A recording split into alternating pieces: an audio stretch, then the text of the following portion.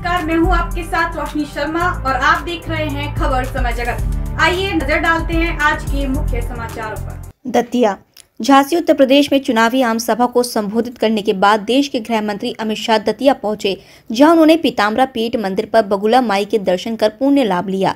शाह ने प्राचीन वनखंडेश्वर महादेव का अभिषेक कर देश में अमन शांति बनाए रखने की प्रार्थना की। इस अवसर पर भाजपा प्रदेश अध्यक्ष बी डी शर्मा, प्रदेश के गृह मंत्री डॉक्टर नरोत्तम मिश्रा, प्रभारी मंत्री सुरेश धाकर, सांसद संध्या राय, जिला अध्यक्ष सुरेंद्र बुधोलिया, नगर अध्यक्ष पंकज गुप्ता, डॉक्टर रामजी खरे, डॉक्टर विवेक मिश्रा, अतुल भूरे चौधरी, पूर्व विधायक प्रदीप अग्रवाल, मानवेंद्र सिंह तोमर, प्रशांत ढेंगुला, अक्कू दुबे, जॉली शुक्ला, जितेंद्र मेवा फरोश, सोनू श्रीवास्तव आदि मौजूद रहे।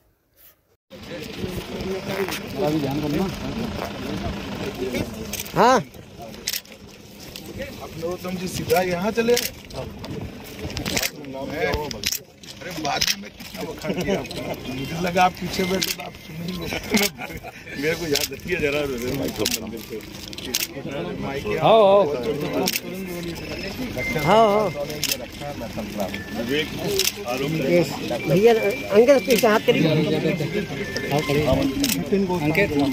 पंडित जी। हाँ हाँ सुन राम जी खबर प्रदेश अंकित और पीछे तो सबका फ़ोटो होगा जाते वक्त लाइन मत पर लगाएँगे जी जी। समय कम है इसलिए हाँ? आ जाओ यहाँ फ़ोटो ले लो ले लो बहन जी के साथ।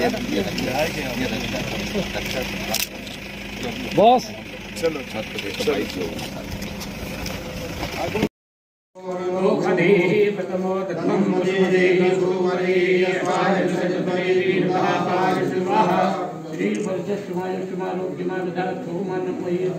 सर्वं पुत्र पौत्र लाभं सत्वं वत्सलं दीर्घायुः रक्षतु सफलोस्तु रिपो खबर समय जगत के लिए दतिया से सतीश तिहारी की report.